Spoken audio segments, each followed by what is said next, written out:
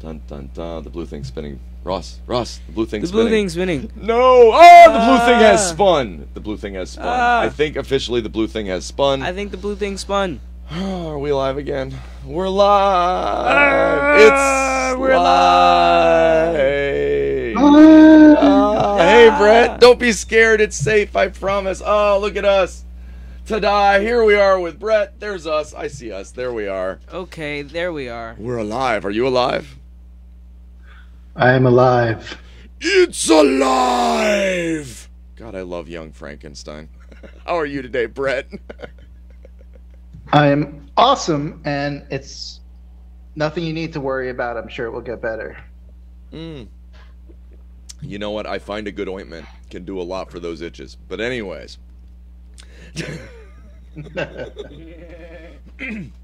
Ross, how are you doing today, brother? Doing pretty good. Doing, pretty pretty, good. good. It's kind of the new the new Friday thing. We've we've officially got a schedule for Friday now, and oh, Yeah, we We're do idiots. shows on Friday now. yeah. well, we did. we did, but we did. We did every Friday for a long time, yeah. and then we backed off to hitting hard Tuesday, Wednesday. We'd usually do a interview on you know somewhere else, but we tried to keep it centered Tuesday, Wednesday, Thursday. Yeah. We're gonna keep that. yeah. Where's Where's the line will still be available Tuesday, Wednesday, Thursday. Yep. I will admit that I have. We have built 12 other spots in well no 12 spots total so nine additional spots on top of where's the line. Oh, geez. yeah I know. 10 to 12 shows a week that's the goal. Um, some of it's set aside for music. I, Bret speaking of music I'm telling you got to get in that discord brother. It, it's got musicians from all over the world sharing different kinds of music. It's you know what? If you're not a hip hop guy, but you play guitar, I can picture where it goes as far as beats. It's a bunch of I, Ross's first song will debut on two continents. His producers in Nigeria. Wait a second. What Discord is this? What's going on? What's going on, What's buddy? going on? I missed the trick. Which Discord? There, Uh, Discord. It's Studio 586B. So I'll, I can send you. I can send you a link to the Discord. yeah. Um. We'll get- Awesome, man. I ah, I want to talk to you guys about all that. I need to make a record as part of my my mission, man. you could talk to Reggie Reg of Crash Crew, one of the first guys to ever record on Sugar Hill Records. Uh, you may have heard of them. He signed in 1980. He was the one of the first guys ever pressed a vinyl. That's one of the guys we're working with. Um, like I said, Simon Corlaz in Nigeria is amazing. He picked up on one of the demos Ross had and was like, "Is there, you know, is it okay if I produce this? I'd really like to produce it." And I've heard pieces of it since. Oh my God! It's going to debut actually on Labor Day here in the United States. So September 5th, we'll be doing a midnight to midnight show. We'll be Yeah. running a Nice. full 24 hours straight through. Hopefully, the, the goal is we've kind of evolved. I think there'll be more friends involved this time. Hopefully, we can talk to you about some of that, Bret. That uh, when we did Memorial Day, we did 24 hours, and uh, baby, it was us. Yeah, it was pretty. Yeah. We got some people in, but it was it was pretty much us during the the wee hours of the morning. Well, that it was us with people, and we're talking about the idea that one of the things that's going to progress is the idea we want to show other people doing, their, thing. Yeah, That it's not, it's never been about us. It's always been about you, Bret. I'm still stuck on music, Ross. Please tell me very quickly for the sake Go, of our no, time here, because I know you want to. You're fine. I know you want to do the questions. What what do you play instruments, Ross? Do you mix? Do you sing? Do you Uh, write? Tell me something. I mix, I sing, I write, I record. he noodles on everybody. instruments. He's I- not giving himself credit. I don't. I, I noodle on instruments. Yeah. but I, not trained. I'm more on. I'm more on piano than I am on anything else. Um, but I I make beats, so I do I do a lot. But instrumentation is the one thing that I really want to get into that I haven't been able to dip my hands into yet. But We've got a, Right 16 year old kid that's, you know, straight band kid, right? Horn sounds. Horns. wow. But the funny thing is, he hit us. We were listening to his music. We were doing his. So one of the things we do is after we do a ten questions with somebody, we like to do another interview and another. The idea is we're building rabbit holes. Uh, So especially with the music guys, the next show is let's play your music and talk about it. Then we move it to Spotify because then they can actually pay the artists. YouTube immediately strikes it. Facebook, you got to about eight hours if you want to see it. Yeah. But then it it moves to Spotify, which then moves it around as both a video and audio because Spot Spotify now allows both, or Anchor allows Right. both, and we what however we're uploading. yeah. But that gives us the ability and the weird. So we're listening to this 16 year old, right? King's an amazing kid. First off, I know I'm. So the first couple of songs I liked. I- I'm not saying I didn't like them. I liked them. But then he pulls out this song that he recorded when he was 13. Well, he wrote it when he was 13. Wrote it when he no, I think he rec- he said he he, said re- he he said he re- I'm telling you that recording was older too. okay. I, it was it, it totally blew my head off. But any, we end up down these rabbit holes where you end up with that. We get to actually interact with the musician, and we're gonna. The next show we're working on is a contest-based show.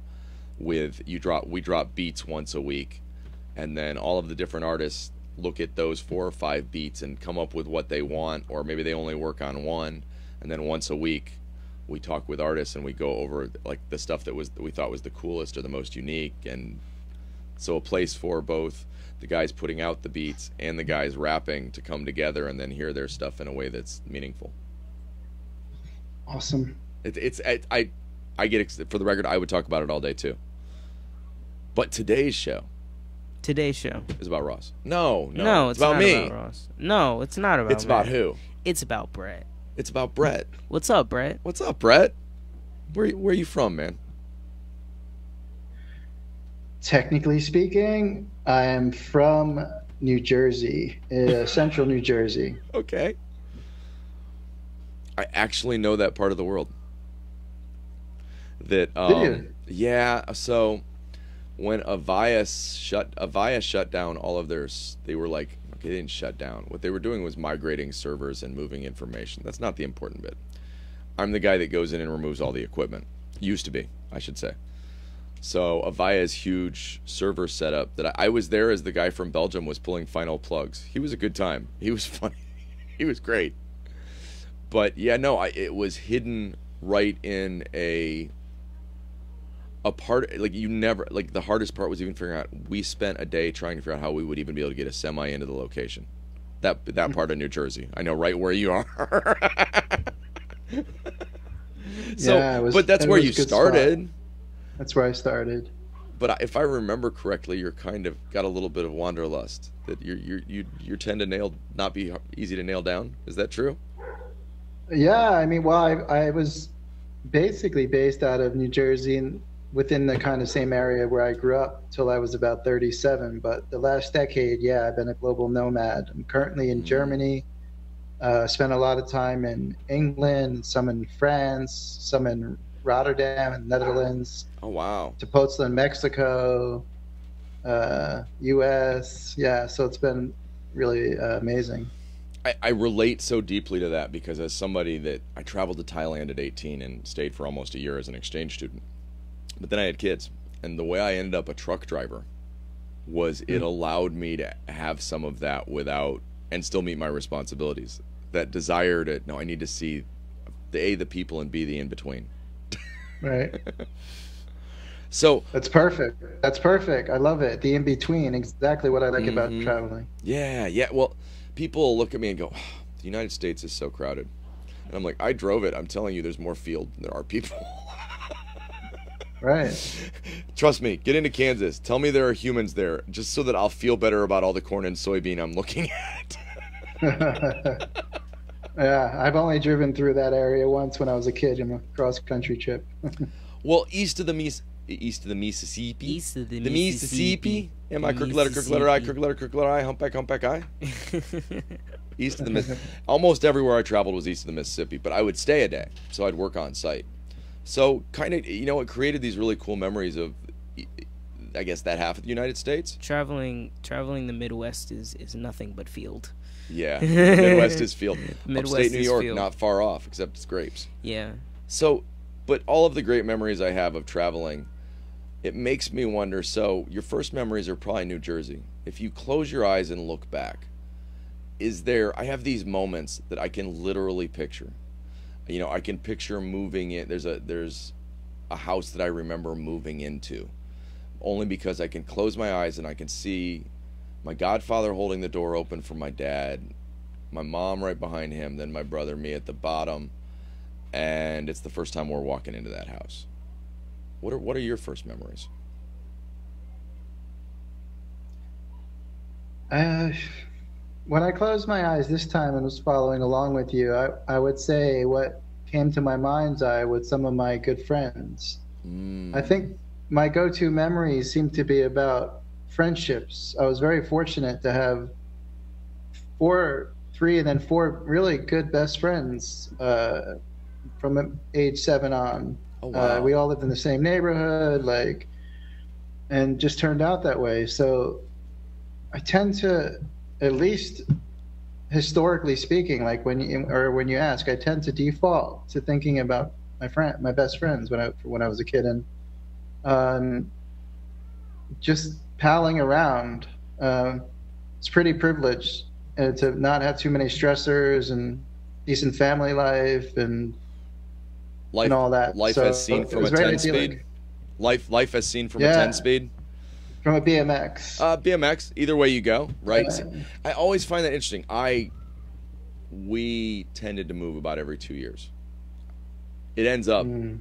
it wasn't military because he wasn't military. It ends up it may have been that he was bipolar. Actually, eventually he was diagnosed. That's probably what it was.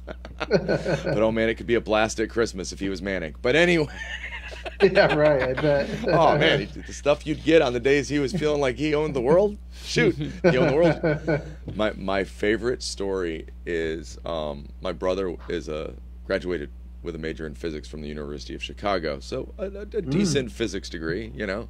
Um, yeah. but my father, in a manic side one time, was sure that being that my brother had a degree in physics, that if they decided they wanted to make changes, my brother should be able to do that. That wouldn't it be easier if you could put stuff on the bottom of the table so that it wasn't in the way? if you had to pick a favorite memory with your buddies, tell me, tell me, tell me what what's a summer day look like? No guilt, just a ah. great time. A great time. Gosh. Back when there What was came still for me- nothing to carry. Go ahead. I I know, right? I'm I'm really that's another I'm 47, so I'm really kind of happy that I ended up being that age where I got to grow up up until about 18 or 19 really without cell phones and internet and all that. So God, yeah. um, it it helps. It's a really interesting age group that we are, Matt, actually, because we can identify with our our folks and also with some of the younger people with the internet stuff. So Absolutely. We, we're Um, that bridge. I agree. Yeah, yeah. Gener- I always say Generation X, X has some unresolved sort of redemption moments still yet to come on the world stage. Um, The best of Mhm. us were busy working. It looks like we're lifting our heads to go, what the hell did we let you guys do while we were at our heads down? You people are idiots. that's how I currently know. take it. That- That's my big take on that all is our generation is like, oh, we were supposed to keep our head down and work. That's not working. And we're st- our heads are starting to look up like, What's going on? this is bullshit. What's going I on? actually had I I actually had the opposite in a sense because Okay. of the first episode I had when I was 19. So I kind of stepped out of the the norm at that Mm, point. Early. um, and I kind of I think I'm a classic representation of the of what got termed like the slacker generation of tuning and being depressed and all that kind of stuff. Um, as a response, as far as I'm concerned, as Krishnamurti said, it's no measure of sanity to adjust to a an insane society or whatever. I can't. I'm not getting his quote right, but I think a lot of us came out of that we're growing up, if, I guess, post 80s and all the stock market stuff Mm. and all that kind of advertising. You and mean where we, we were taught that greed was what matters? Greed. Yeah, exactly. So I think a lot of us took a U-turn and was like, I ain't, and we got perceived to be slackers, but I think we were quite deep actually in kind of saying no to that. And Yeah. now, like Not you're playing saying, that now game. We've picked. now we've people are our- actually not playing that game. Yeah. But we have picked similarly, like you're saying. Now we're picking our heads up after all that time and the, the experiences, and saying we're not done yet. Like we're gonna Mm. come back, but we're coming back from, with a different perspective. So yeah, Well, I'm I excited about that. I feel almost like there's a meaningful wave, and part of what's pulling the younger wave is us lifting our heads and going, we're doing something. That I felt a that damn Greta Thunberg. I'll tell you what. well, that okay. If a twelve-year-old can get up in front of the UN and tell them off, what am I doing sitting on my butt? Right. How how can I? I got to get in there. I that and so I went through getting therapy and finally dealing with the depressive and anxiety aspects of my life at about 50 just before. That you know I had spent my entire life going I can get it I I'm going to do it this way I'm going to do it that way trying. You know and then it isn't until the point where I finally like okay I don't have control over this that I end up here. So that all of that though now makes sense. It all just falls into it's like oh that was all Mhm. I, I can look back now and all the the crap uh, was stuff that I needed for here. Right. which you know it's it's made working easier. And it makes me wonder how do you work bret? It's okay to say what does that question mean? Because it's a rorschach. Yeah. the, the reality is they're built that way. Don't shy away from it. That people will be like well what does that mean? I'm like i don't know. What does that mean to you? And the questions are short. Short enough that the answers are yours not mine Yeah, uh, I think I'm pretty. I like to be neurodiversely literal, so I'm just gonna go super literal. Mhm. How do I work? I work spontaneously. I work by following my highest excitement. Uh, there's a guy out there named Bashar who's like this channel, uh, and all that aside, I like I like what he calls his formula, which is I follow my highest excitement with zero expectations with the choices I have available to me to the best of my ability. So Mm. like that's how I work. I dig that. short a- actually for the the truth of it is that's how I work, yeah. Well, right. That I, I think to some that one of the things we so we sit here and we'll realize we talk about the joy of it, don't we? Right? That there's Yeah. that if it wasn't for the passion, I think we're following our passions, aren't we? Sort of. Yeah. Isn't that kind of what I we're doing? think I think there's some passion involved in this project. I Yeah. think there's some. and next for a 10 on the level of enthusiasm scale, yeah, you know what? Yeah, I think there might be some passion involved. I said it deadpan on purpose. But anyways, um, no, I, I really do. I really do. I think that oh, I love you. that that's the way that we work is trying to be as diligent as possible and making sure that we're really doing what we feel needs to be done. You know. Because the list is so damn long. Yeah. That you can't you can't just avoid things. You can't Well, skip things. I was thinking that there's so much of it that what you have to do is pinpoint things. Yes. You have to go, this is what we're doing. That was a big part of our week this work, Bret. Week. uh, Our work this week? was finding words. That's right. We spent a week with Matt reading the dictionary in the hopes that he'd find words again. Um, was schedules are hard for us. That's not something either. Both of us were, uh, you know what? and I I bet you too. Those gifted kids that didn't have to work really hard at stuff. yeah. So you got really good at not having to schedule doing things because Yeah. hey, you know it what? just happened. you just pull that off. You know what? No big deal. You just set a time to do it, and it got done. Oh yeah, done. no, it got done. Yeah. Ten page report. It's only midnight, man. I got another six hours before I even have to go get up and get ready for school. More than once. Yeah. I'm not even making that up. I've written some essays on the bus. I, I'll never remember the one I did where I, to see whether or not they were, we had to put footnotes. hmm crap ton of footnotes, and I, I quoted Mork and Mindy's Guide to Sex. There's no such book in existence, but I built it in in the back just as and no, they didn't even notice, not a word, which is probably a good thing because I made up most of the other quotes in those books too. But there was a tester in there. If they came Yeah, Mork yeah, and yeah. Mindy, I was gonna be like, oh, that was a joke, Right? and hopefully it'd cover the rest of it. God, I was an asshole. Right. God, at 17 or 18, you know what? I was just a real dick. but so this week, it's been like this eye-opening thing. We like started building our schedules and talking about Labor Day and built I'm happy with it. I don't know if it's going to fall apart next week, but I think we actually realized that we work for a living Did we Yeah. go through that this week? Was that part I of what happened? That's what we went through. This there was a moment yeah. this week where I looked at you. Oh fuck! This is what I do for a living. Yeah. There's no money. Had to realize, oh shoot, this is what I do. This is I what I do. keep doing it. you know, but it's important where yeah, that that's a real is. that's a real thing, man. Like Mhm. I guess like the chicken comes home to roost as far as evolution, where at some point all of my ease and grace up until age 18 or 19, like you're saying, easy get get a get B pluses maybe instead of A's, I guess, without doing anything. Like always having friends, considered good looking, all this kind of stuff. Like it was so easy for me, dude. Mm, Oh man, it was a real eyes. shock. The eyes was a were real fucking up shock girls for a I- lot of years. I'm telling you, those eyes were just.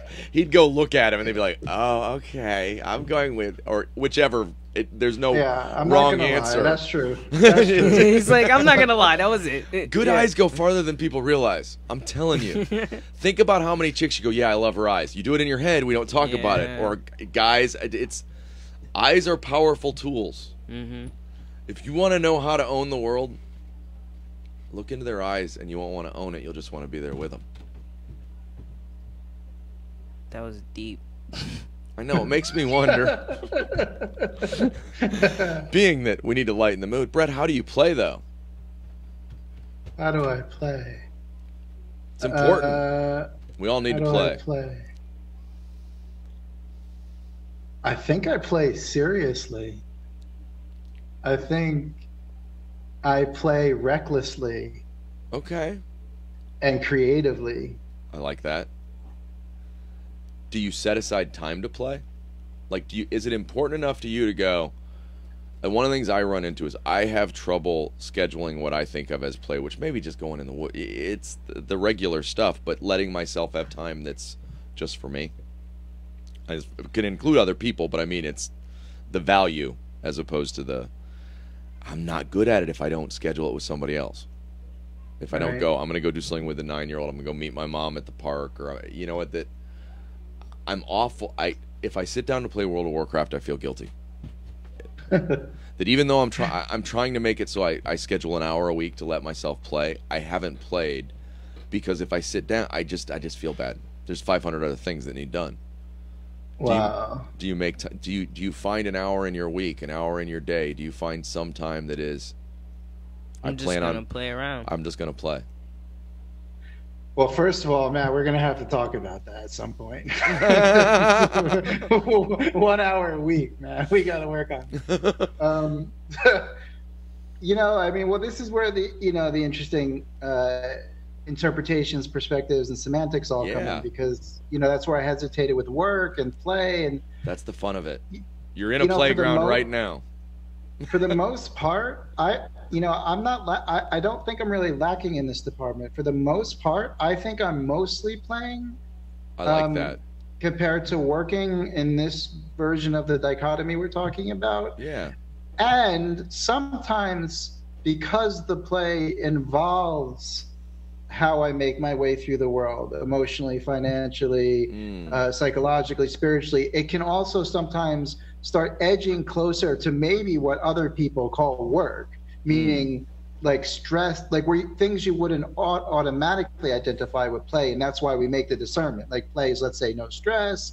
You know, it's uh, maybe it doesn't have a time limit. It's maybe you're doing something you really love to do, which is normally what people don't associate with work, which is well, so I agree. sad.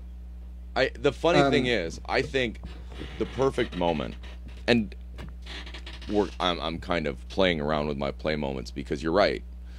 I this is play that I love. I I absolutely love what I'm doing, and I've found a place where I exist that I didn't expect to with Right. this. Um, that you know, in a really interesting conversation, and I've had, you know what.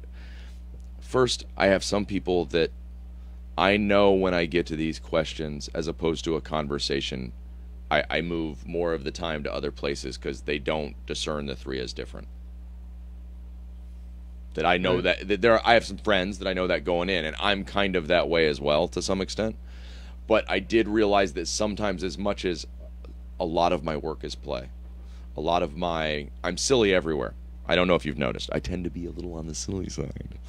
And my mom used to say, what was it? Delightfully unfettered by convention was how she described herself, which I found incredibly embarrassing as a child.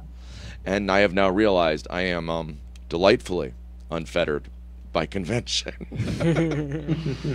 but I think you're right that when you get those moments where work and play and pray are all one thing. We had a good friend, Calvin Hobbes.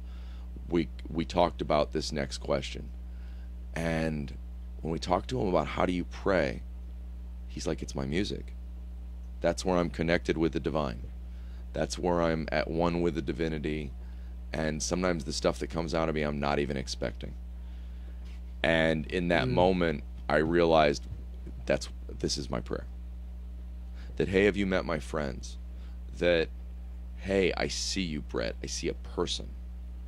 Not, you know, that I see depth, not word, not like a four-letter word. A four-letter word doesn't. I'm sure it's happened, but I don't think mm-hmm. four-letter words are the best description of Bret, even though his name has four letters in it. That there's so you're a symphony, not a note. But so, how do you take that? How do you pray? Question. Uh, I think I would have struggled with it a bit hadn't you mentioned your friend. Mm. Um, so I've kind of got a cheat sheet now. Like I'm, I'm a little bit stuck now contextualizing it in terms of your friend mentioning, you know, how does he connect to, right. to the divine or, or I, something, which I may, which yeah. I may not have said, I may not have um, automatically said or, or thought about, but again, it's um, it's interesting. I would say, ideally, the work, play, and pray are like the holy trinity of, and it's it's whatever transcends it includes them, which is like following your bliss or something. Mm. Um, and like what is, and they express themselves. That those are kind of like three key expressions of the one following your bliss. So how do I? Um, on one hand, my mission is literally probably to be in full-time prayer in terms of mm-hmm. divine mm. alignment with with my true self and that's how and then it expresses as how i work and play so ideally it would be everything i do is a prayer if mm. i was going to kind of god i like you that. know be that's so friggin' that's deep like that. that's so perfect that's yeah i follow it's true I, am with it's you it's true it's true for the most part other than because it's all inclusive, sometimes I'm in a state that maybe we wouldn't associate with prayer. Absolutely. You know, where I'm working on my own self, and but that again is on that recursive meta level is also being in prayer. Um, well, uh, and then I would say being creative. When I'm being creative, when I'm in these calls with you guys, when mm, I'm playing my guitar, when I'm jamming with my friends about software design, that is like your friend Calvin. Again, that would be my most visceral uh, easy answer go right. to. Like that would be my prayer. Trust me, it hit me. I, that as he was saying it, that was when the epiphany about what it, it brought it into a perspective. Like that's what I love about doing this, Brad, is that what uh, as we look at these simple pieces from different angles and perspectives, where everybody feels them differently, everybody sees the questions differently, and time and time again, I find so uh, my shrine, quote unquote shrine. I don't really do shrines, but I have a Buddha over there. It's got one of. Do you remember the old Stanley coffee mugs that you'd picture a guy going to the work site with? You know the ones I mean. Mm. It's a mm. big. So it's got yeah. one of those. It's got a Buddha with his hands up in the air in front of it, and then it's got a giant steel jack, like supersized, because it's work, play, pray. It's the thermos. It's the giant jack it's the Buddha. Then next to it is Bilbo with Gollum chasing it, a Lego version, kind of mm-hmm. small. Don't get too attached to the ring. The sign behind it says enjoy the journey, and the office is full of skeletons to remind you nobody gets out alive. So it resonated so deeply when you said, you know what, no, the goal is it's all prayer. I, I have this beautiful friend in Vietnam that just keeps reminding me meditation is non distraction. And mm. so my goal is to always be present, not distracted. That I find that the things I see in the world around me, if I'm not busy everywhere else, are amazing. And the reality is, I've never been here before. You know, this moment is a one time thing in the universe, and then there's another one. it's the only place I can exist. So it's, it's, I find it so moving to time and again see it from. Yeah, the per- perspectives are changing me. Mm. What do you love? Do I love? Love, love me do. I love. I love possibilities. Possibilities. Mm. okay. I I love being open to something miraculous being possible and also of course no I just stick with that. I love I love being open to that. I love I, I love the creative I love the creative half Mm. of that that we can create things and i love being untethered from those unfettered conventions Isn't that the best? And she would say, uh, it, it used to drive me crazy. We'd be at the grocery store, and it'd be like, I swear there was 45 minutes extra every time because you had to talk to the deli person, you had to talk to the bakery person, then you had to talk to the cashier. and I'm just like, Mom, we gotta go. You, you remember? And she would just like, You don't need to be embarrassed. There's nothing wrong with me. I'm just delightfully unfettered by convention. that so my experience of late and there's a lot of epiphanies going on with me lately. This, this has been we sometimes refer to it as a quickening. There are moments where it feels like oh my god there's just so much coming in. And what i mean by that isn't the work side or the studio side. That the more i've admitted i don't know anything about the moment i'm in like i i've never been here before the more I've decided that to treat each day like I was born this morning and like I'm going to die tonight. So, just with that sense of awe and investigation, that the longer I'm here, the more opportunities I see in every single moment. That it's been like it's it's like seeing more options by being present. And it's so mm-hmm. instead of it's like, oh, the universe just has, you know, is taking care of me. I feel sometimes like because some amazing stuff has happened like oh okay and you just fall into that and then okay you just right ross that we have a consistent sort of stumbling forward in a way where suddenly things just show up Yeah, things just happen. It it it's weird, but it happens. and my theory on that isn't that oh and then the universe the universe is universing right. but if you're paying attention there's more strawberries than you think Yes. if you're not paying attention all you're looking for is weeds all you find is weeds hmm we look for strawberries Try to look for strawberries. i'm not, i'm not gonna lie i look for weed uh, you know what i'm not gonna lie um yeah but strawberries and cream are nice too Strawberry cough is an excellent. Um, yeah. Anyways, Strawberry is my favorite. Strawberry cough's a nice, flavor of uh, cream cheese. Actually, it's the best one. strawberry Really? cough is a great sativa, though. Give you a nice lift and Oh, really? you know it sets your brain right. I personally am a fan of uh, Super Silver Haze because my last name is Hayes, but that's as now You're anybody that wants to go look Super those up on Leafly. I mean, those are good strains, I promise. I've always been a, I've always been a sativa guy. I you know what? How about you, brother? What, what, what, what- so do you love sativas or indicas? Do you like to be into couch, or do you like to be up? You know, the truth is, I haven't done an. I I default to indica based on my like part like archetype and what I know, but I've never not done a proper. Even though for all the years I was kind of a stoner in a sense, and like, but I was never the guy that like learned how it grows and all the chemical. Like it was the. I just loved it. like, I Right. was- I, I never got like like I did with other topics and things. For some reason, I never got into the like the history or anything. So I, I know I prefer indica because I have this you know manic type Yeah, so energy. no, you would like to bring it down. natural. I, I Yeah, totally like to- understand. I like, I like to feel it in my body. I like to feel relaxed. Like, yeah. I like to Ah, chill out. edibles. edibles. He prefers to feel it in his body. I'm telling you, if you want to get the world off opiates, the best pain management system out there, is edibles. edible THC. Don't smoke it. That's not that gets your head high. That If, if what we're doing is taking it medicinally, no. There's a there's okay. So when I had back surgery, the way in which I treated it was uh, micro THC, micro psilocybin. So not large in amounts, but it Right. meant that I could still feel the pain. I knew it was there, Mhm. didn't care, but I was aware. The big risk on opiates and Is the that you're not addiction to aware of it. opiates is that then you no longer have the sensation. You're more likely to injure yourself again. It's like shutting off the pain, which isn't really Mm. valuable.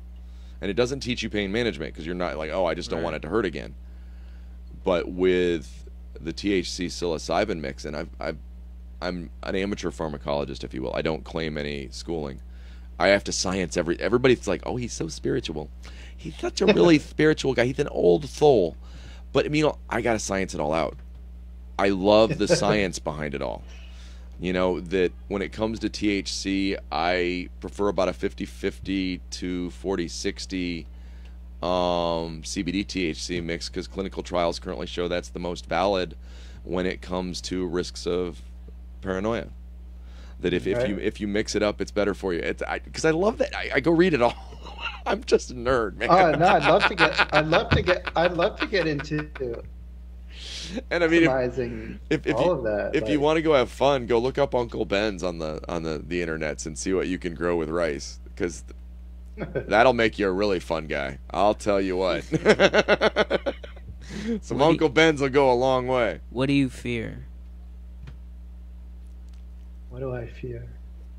Um, traditionally, there's been a fear of failure, Mm. of not reaching a perceived potential. The gap between this sense of capability, destiny, possibility, and then not necessarily, at least perceivably, having that experience. That's been a big fe- fear. I also have the paradoxical fear of death to some degree, not so much psychologically and spiritually, but the pro maybe the physical process and that Mm. last bit of unknowing. I'm big Matt. I'm really big on the un, the not knowing thing. There's a I love there's it. a big difference between there's a big difference between the mental like philosophical stance that we might all experience like when we kind of maybe study ourselves or in the zen and where like not knowing is like a phrase you might use but living and not knowing is different It's like so when you really when, when you really don't know not I- lip service No, I'm with you. No, I I literally am with you. One of the things So there's a bit of me. There's a Yeah. bit of me. There's a bit of me that has all these like sensations and thoughts and anticipations about what is called physical death. But there's this tiny bit of me that has some fear about not knowing exactly like what it is or if it is. Because I'm just humbly like, I think I know. I think I have an idea. I think I would guess if I had a gamble. But honestly, like I don't have a way of knowing because I've never been I've never experienced what people You've call never death. been right? Like there. you're saying that? Right. I'm eternal. First of all, my sense is that I'm eternal and infinite. And right. There's no such thing as living and dying. That's a con- that's Which a- which a- piece of you are you talking about? narrative. The part of you that's universe, or are you talking about the meat sack? And what's the difference? You know? right? Where's that line? Those And friggin' lines, man. Exactly. So those are those are my big fears. It's like some version of not knowing around death and failure. yeah. Not knowing is hard. What do you think you know?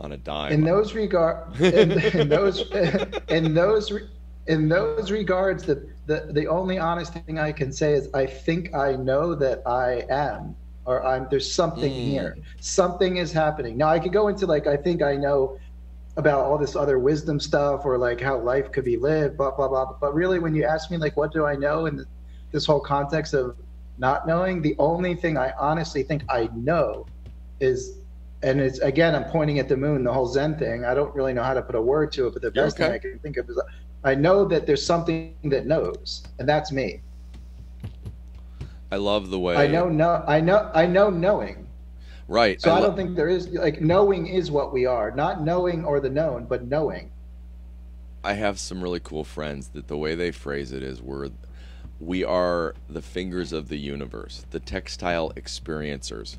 And what they'll do on a bad day, you know, and the universe wants to feel everything. Everything, everything. Mm-hmm. Good, bad, ugly, everything. It wants to know. All sensation, right? And so we're for that, and they'll look up at the sky on a bad day and go, So did you feel that? Did you really need to? Was that something you really needed to feel? You sure? Could we we couldn't have skipped this? Right. With the idea that the universe is like, oh, I want to feel this crappy thing today. that Uh, it's, well, to me, this is the big trick. I mean, really, ultimately, I end up feeling uncomfortable when I hear myself separating myself I, from I yes, like like the thing, which is again, there's a big gap between like my kind of sense of and my embodiment of it compared to like peak experiences. But I do always bring up, well, yeah, and don't be a victim. Like there's only Mm. undivided whole. There's only one undivided whole thing to me in in action. Like, and I mean that like we all do. I mean that pretty pretty seriously. Like that is my outlook. Um, but it, but again, practicing that and living from that. That's my newest part of my journey personally with Mm. non-duality, consciousness, spirituality. It's like living from the knowing is different than just spouting it off God, and talking so about it over the dinner table. Like, and that's my new. I ha- I got stuck in my own dogma for quite a while, like we all do. Like I Mm. needed to Yeah. hear some new voices and new things to make me real laugh at myself, basically, which is the most important thing. If there's a question of what's the most important to you, it's like people that can fucking laugh at themselves. You have if you to. can't laugh at if you can't laugh at yourself, you got a red flag on. Like for me. Well, it, in So, my yeah. head, five years after anything bad goes bad, you're gonna tell crappy jokes about it anyways. Skip five years, start telling. that that's I, I'm I'm a you know what I would have backed Gilbert Gottfried on the joke in the sense of, no, I work in the DMZ. It drives Ross crazy. Yeah, it does. It freaks me the fuck out. the heck out. Sorry. Sorry. you know, buddy. I'm not. I'm- oh man, I so there, I, I have a a phrase. I, I I'm all I can say is boy horse. Oh my god. And you know what? I, I can't say anything more of the joke, but I know that you're over there just Oh cringing. my gosh. Yes. We can talk about Putin's. We could po- talk about Putin's tiny peepee again. No, let's not talk about Putin's. I got haters on that one. I actually had people texting me. it's like you could tell. You'd say, or if I told the day I talked about the orange guy, I had somebody reach out through text to let me know that I was a bad guy. Didn't even say his name. Just said the orange guy. And I do on occasion talk about Winnie the Pooh, and that was the day. Suddenly, there was an Asian girl in New York that wanted to make sure I got on Telegraph so they could keep track of my phone, and then she she disappeared, of course. Oh, wow. then it was like, oh wow, cool. I talked about Winnie the Pooh too much today, I guess. Oh, I might have, I might have mentioned Tiananmen Square too. That might have come up. That's a Okay, so what do you want to know? Ross is like change the subject. Luckily, I have questions do I to do wa- that. Yeah, what do you want to know? what do I want to know? I want to know The way to San Jose. if. oh God, there's so many answers to this. I'm just going to say what came up for me in the ink Absolutely. block perspective. Uh, what what I want to know is, is there life outside of Earth that is specifically appears to be what we might call aliens or somehow uh, identifiable. So what I mean is I'm not talking about different dimensions or like right. that other beings might exist on astral planes. What I mean is like physical, again, and the- physical in our universe. Like in our other other universe, things yeah. that have evolved to yeah, life. I, I'm making I'm using the false dichotomy of the inside outside, like there's a physical shit and all that. But I do I would like to know that, and the context is I'm not convinced of that, and I find the anthropomorphic argument that we cannot be the only like life like this is equally as anthropomorphic as saying what if we are like why do i don't know why people Mm. think i think people think i think it's equally as arrogant to think there's other life in the universe i Mm, mean it's okay, I follow paradoxical you. to some degree I actually I'm sure- understand that. I understand that perspective completely. but i don't know i'm open to whatever but i would love to know That's like that- Ag- we should start a group that's that's, called always- agnosticism. so that's always that's always been my my perspective on like the God question.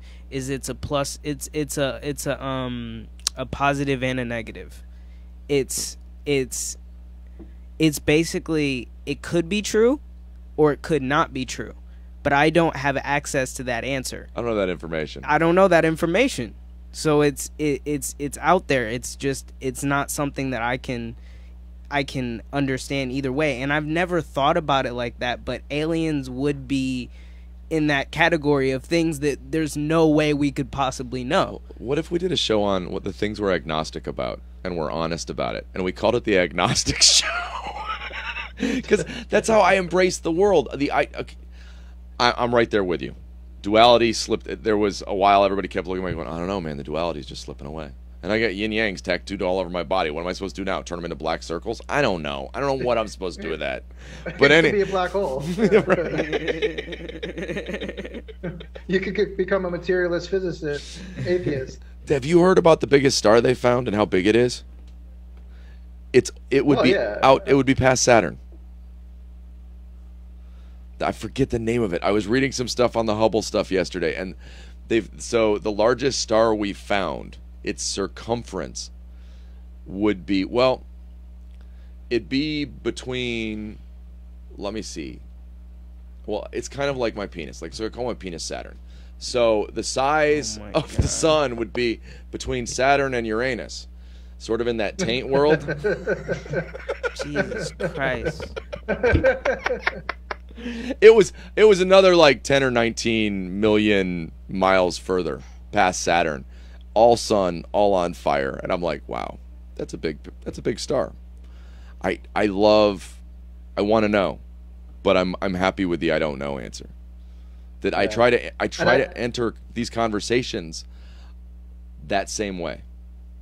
I'd also like to know firsthand, by the way. This is one of those Mm. occasions where hearing other people tell me it's true. So, like, obviously, I didn't know China existed other than seeing it in books and TV and pictures on the internet, but I generally believed that China, at least the thing people are referring to, existed without having ever been there. When it comes to this other life or whatever, I need to have a firsthand experience. I get I, what I'm hearing like I here know. is understand that, that, yeah.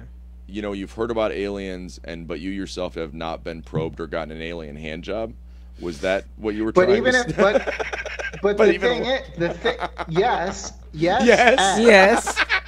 And the thing is, this is my my science my sciencey I get it. stuff. uh, I love it. Matt. Is that even if I did experience that, does that mean there was actually an un, an other outside of me, gray reticulum from another star system giving me a hand job? Or did I hallucinate that, which means it's real enough, but not Mm. actually, you know, in the terms of In the using language, world, it right. didn't actually happen. Did but you it, sit on your hand did too happen. long so that it would go to sleep so that you had the experience of a gray reticulum? I see. So it's a stranger. I understand what you're not. no, I'm just, But you're right.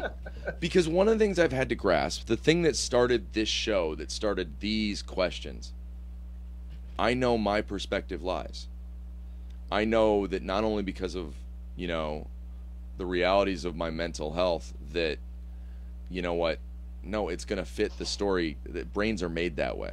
That's how we're designed. You lie to yourself.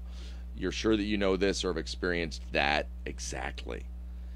Shoot i'll always forget. I was talking to my mom one day and i, I always remembered when she had this job and she would come visit. Every sometimes she had enough time at lunch to come home and she'd bring me a twinkie.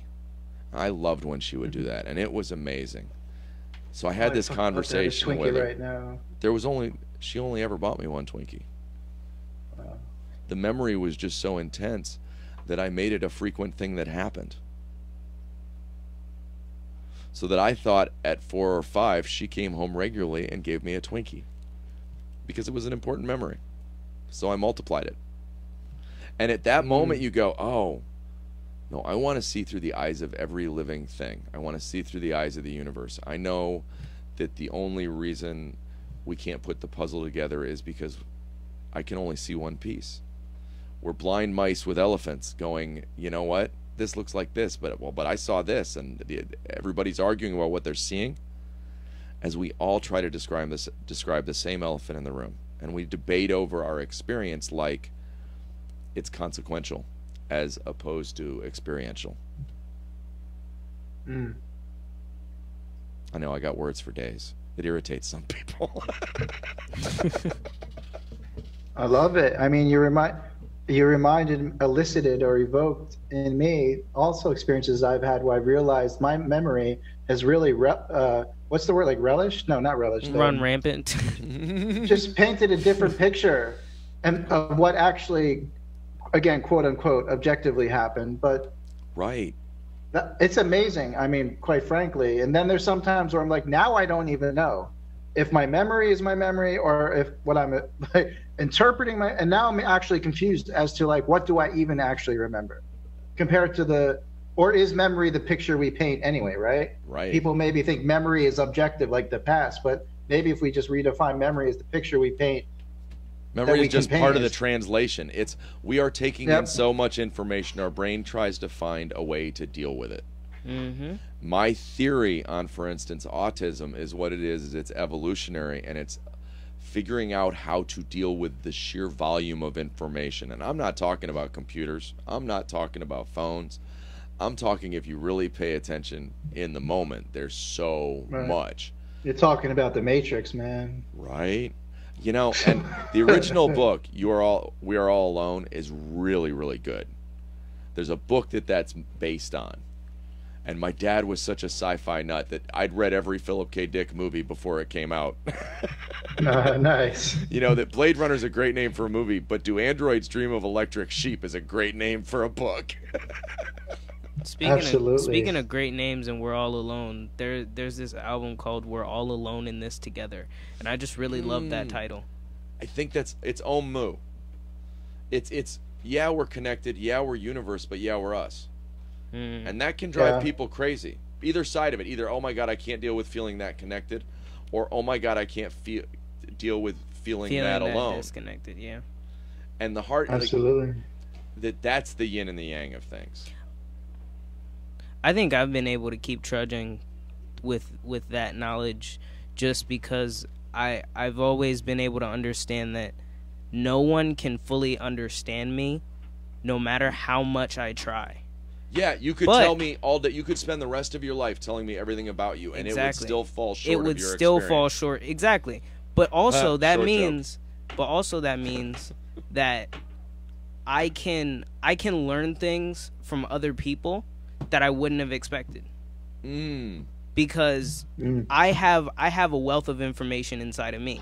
That also means that they have a wealth of information inside of them. There's no way that we have the same information. That that right there, the day I realized every human being on this planet could teach me something, mm. that there mm. wasn't a person that existed, and this is where it started. We'll, we'll start with person. There wasn't a person that existed that couldn't teach me something. Mm. And so if I tried to meet every teacher as a person mm. and a revered teacher, right. a guru, mm-hmm. each and every last one of you, mm-hmm even even you two. I, I, know low standards. What can I say? God bless you. Well, the funny thing is, it got to the point, and this is what's been going on lately, Bret, is in the circles where they were worried about enlightenment for all sentient beings, and I've been spending all this time dabbling in lines. I got to the point of going, oh wait a minute, there hasn't been a moment ever where we've drawn a line that it didn't actually mean lesser and greater. And I don't know that I can figure out where sentient goes. So, okay, now I'm learning from all living things. That makes sense, right? Okay, that didn't stick in my craw as bad. I'm like, okay, all things. Well, but then the rain starts teaching you. Or then, you know what, it's something simple in the rocks or the grass or a flower making its way up through the cracks. So, okay, which part isn't teacher? Which part of the universe doesn't have that, you know what, potential? as you were saying, opportunity. Yeah. It's kind of like God, God teaching God about God teaching God at the end of the day. Right. It's a big sounds like a circle. Sounds like a circle to now, me. Because I don't belong to any particular. I love the idea that the way I judge wisdom is by whether or not it's wise, not by its source. Mm. So it's also open to the idea that oh my God, Groundhog's Day, one of the most deep, meaningful movies in the world. If you think about either the cycle of life or how you deal with, he starts off, he chases all the worldly things money, alcohol, crazy girls. Then he then he becomes obsessed about a girl, and he doesn't finally get it until what he works on is himself. Or you know that once I opened up the idea of perspective came from everywhere. Any I, that's how I became obsessed with working with artists. You know, working with musicians and painters, and that they're showing me what they're seeing already. You know, watching your playcast. You know, watching. Right. You know, passion is the gateway drug. It, it- it's even in the name. You're expressing where your how you pulled yourself out of it. What felt like the the you know what? I'm gonna put a shameless plug in. I actually have a book on Amazon for two dollars and ninety nine cents. It's a very cheap book. I put it out. They wouldn't let me make it free. It's Zen and the Art of Madness, and it's the from the point I gave up control and told my doctor I would not uh, I would let them adjust my chemicals for a while and I would hold off as opposed to adjusting them myself. Um so from my deepest lowest depression to the things I found over the next 4 months. And it's a journal, it's drawn, it's got a lot of writing. It talks about movies I watched and what I found in like the wisdom I found kind of stuff you know Nice. I- I- and it's you know like when you get to um shoot queen's gambit has a whole page and half of it's a drawing of a queen on a chessboard but it's the quote this beautiful quote about the one girl looking at the other girl and going no i'm not your angel i can't even save myself i'm here because we're family and i love you and that's what family does i'm totally butchering the quote but that meaningful i feel that way about humanity you're my brother, Bret. Ross is my everybody's family. How can I where would I draw that line? Where would it be meaningful? Which brings us to Why are you here? you can say it again. Why am I here? Yeah, why are you here? Why are you here? How come you don't play some? sa- How come you don't play sound effects with that? Oh, shoot, we should. We should. Why, why? Matt's been saying that. Matt's been saying that forever, but I haven't taken the time Hold to on, wait a figure it out. Why are you here? I'm here first and foremost because I can be. Mmm. Um, I'm here to express the, as Matt, you're talking about, I'm here to express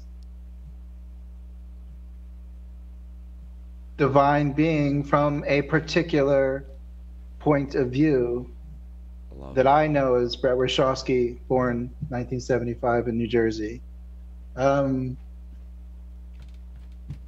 and I'm here for the all win. I'm here. I'm here. For, I'm here to contribute I to what like I believe.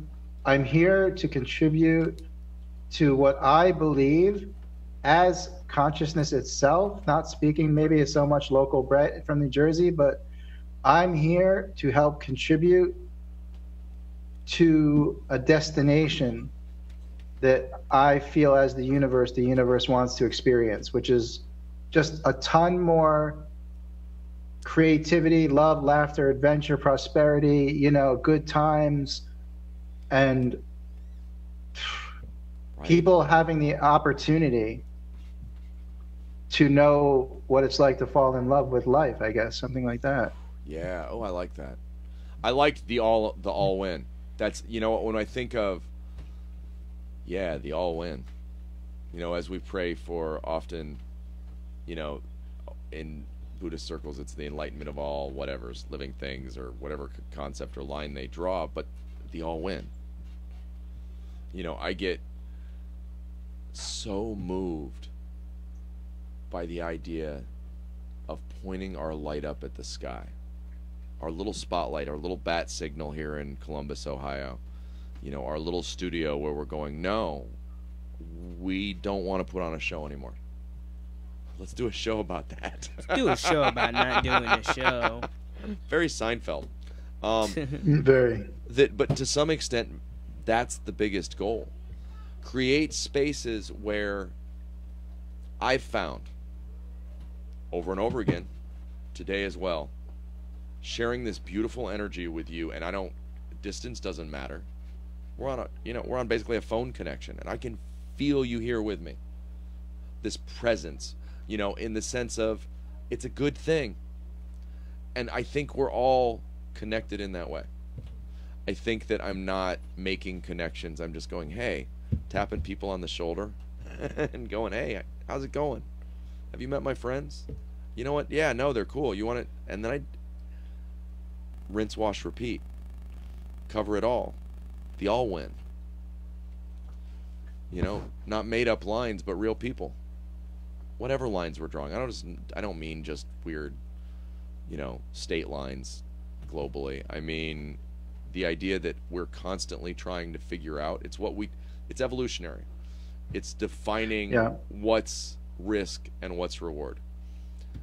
But we're kind of past that stage and we have to I believe yeah, make a leap to a deeper consciousness. That I, I think we're we're evolving past our physicality right now for a better to see a better understanding of not just our neural diversity, but the way in which our it works at all. Evolution has never slowed down. We're looking at our physicality going, well gosh, humans haven't changed in a while. Oh no, that's not where it's going on. Our protein spikes are going crazy. We're viral. You know, our job is to find keys to locks and every perspective, new key. But then again, I don't know what locks we'll get. So I, I'd like to see through I, the idea that there are eyes out there that have grown cold or weren't educated or were not given the chances or the ability. I mean, I wanted to see through those eyes. Just like I want to see through yours, Bret. It, it's it's meaning- Beautiful. yeah, it's meaningful that you're here. It's the most meaningful. I everybody jokes about our monetary situation. I don't care. The most valuable thing another human being can give me is what you've given us today. Your time. Your presence. You know, nothing else Stick with it. Oh, thank you. Yeah, stick with it, man. I, I I have a big issue with people around the money thing. Call it. I've been in in the past, not so much lately. You know, people talk about poverty consciousness, and Mm, I'm like, I'm like, are you kidding me? You're getting on my case for following my bliss, for being here to contribute to a world that works for all, mhm. and stepping out of the unfettered fucking conventions and the way I relate to money and work and value. Mhm. And you're telling me I'm in poverty consciousness? So, sorry, buddy. As the ancient Chinese proverb goes, if you're not part of the solution, get out of the fucking way of the people that are working on it. Because that is poverty. That's what poverty consciousness is. It ain't has nothing to do with money. It's like the poverty of, of, of hope and the poverty of possibility. And Well, I, so yeah, like I of course it's always good. Hey, we live we live in the we, we live in the world with money. Ahead. It's good to have more money. Oh, absolutely. I want you all to have more money. We'll all get more money. We'll do it together. We'll have tons of money together, and that'll all be good. But really, I applaud you for oh, thank you. stick, I, I, right work's a big deal to me. I, I'm very. It's everybody's a little uh, not happy with me at the moment about that, but um, you know what? I agree with you wholeheartedly. And to quote a wise friend that we both know, as Pink, sa- well, actually, it was the judge that said it, but as Pink had to live through, tear down the wall. There comes a moment where you've you've got to tear down those walls. That, you know, look at where you're at now. Dividing people doesn't work. They tried. God, they tried in Berlin. And you know what? It ends up. People are people. The lines are fake. I, I talk to people on every continent. We do this same thing you and I are doing. And over and over again, I see me. It's amazing. It's it's changing and I's life, I believe. I believe it is. Yeah, it's changing our lives. No, seriously. Like, Deadpan. no, deadpan. like I love it. us- Us talking to people and us growing and getting to know people is something that I've been yearning for and looking for my whole life, and I think that it's it's really good that we're able to do this now, and that we're able to to be in this moment and be here. You you blow me away regularly, bro. I love you. No, I mean in the good way. I mean I'm like I'm just sitting there moved, both of you today. I I can't thank you enough. My head is the joy of other perspectives is for me it's more legos in my head that go oh what if we stack it this way what if we stack it that way it's Mm. constantly moving and bret i love what you're doing i really do i love passion is the gateway drug Yeah, it's dope. i man. love you know what we are there for you 100% well when we can be on the mental reform issue we we both we both have those experiences we both are very open about it um, I don't have an issue. Like like I said, the book that's out on uh, Amazon is very much about my experience and the hope. It's not. It's a hopeful book. It starts low, and then 200 pages later, it's about how to get out. You know that kind of thing. That Nice. I, you guys just. Thank you, thank you both. You know what? An hour and seven in, but I would do it for three more hours and talk more. Bret, I, I, I am looking forward to us talking more, uh, here and there, if that if you're up for Is that all ten? Is that all ten questions? That is That all is 10, ten yeah. questions. Uh, oh come on! There must be a bonus one. Ask one more bonus one. Well, uh, you got anything to plug? That's the bonus question. That's a usually. bonus question. Yeah. it's what you're shilling. Talk. You've got you, you you've got stuff to plug. Not because you're shilling, but because you're doing meaningful things and sharing your experience. You know that right on. I don't. I, go ahead. Go ahead. Sorry. I am chilling. I am chilling, no doubt. uh, let me uh, first give a shout out to technology. Uh, for me, this is what the internet is all about, and it's only going to get better. Yes. That we're able to community build, yeah. we're able to connect, we're able to co-create, and this is this is going to be the post-social networking age to some degree. Yes. Um, where we go more into what the internet was intended to be, which is like a global nervous system to some degree, as if we were all one super organism. Like it always has been. Um, Like you mean like it's almost like, like it's it energy, and now we're gonna have an energy network for our energies, so that our energies can talk. I I I keep going. Okay, you guys keep hitting yourself with a hammer, but this is a hell of a tool. Exactly. So I'm saying that the plug, and for your for your enjoyment, Matt, I haven't really made this clear. The Web three platform that I'm part of creating is called Perspectivism. So we're definitely on the same page, my friend. oh, absolutely. Um, uh, so that's just cool stuff to to share. Like you know, we're going to build some new technologies that make this process of coming together, evolutionarily, spiritually, emotionally, psychologically, and use these tools to our highest advantage. Oh, I, and I'm with implement- you. Implement these technologies uh, for the good of all. So that's super exciting. That's a little tiny plug, just my excitement. Well, Um, and, and Go ahead. yeah, go ahead. no, go. The the thought that goes through my head is, trust me, if anybody knows Zuck, I can fix the whole thing in about 60 days. I can make the world love Facebook again. I know, right? It's possible.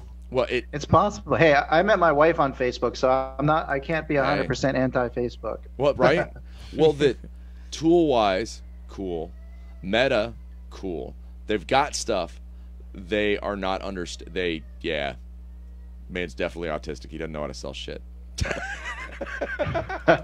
I'm on. I, I think I'm somewhere on that spectrum too. I don't mean that in. and It's like I see you're missing the cues there, my friend. I do that sometimes as well.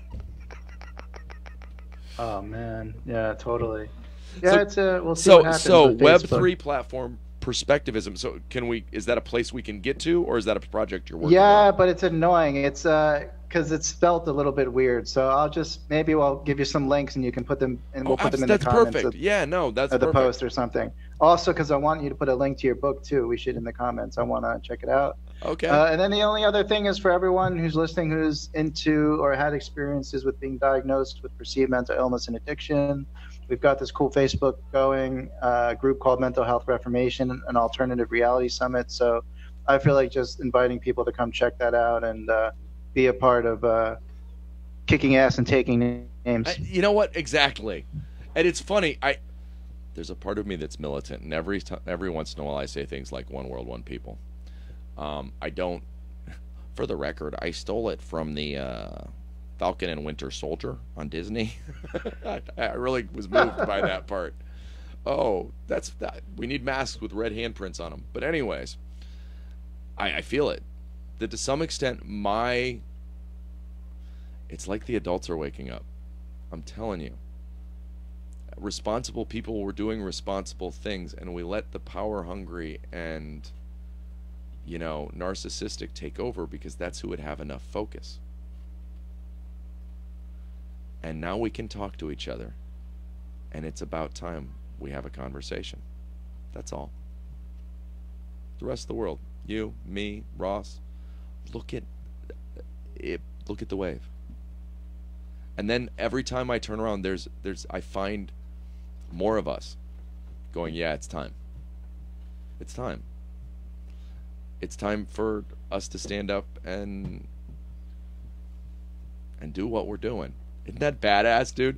When did you ever get to go wait and do what I'm doing? Isn't that powerful, Ross? That usually you're like, I gotta go do something. I'm gonna go do Bret, Ross, Yes. for the sake of all the rest of us, I want you both just keep doing what you're doing. Thanks, guys. What an amazing show. You can stay on for a minute if you want, brother. I'm gonna. We're gonna say good. Was there anything? Shoot, or did I cut off more plugs because I'm so excited? Uh, I'm good. You're good, dude. I can't say thank you enough. I, I can't. I, there's just not. I'm that moved.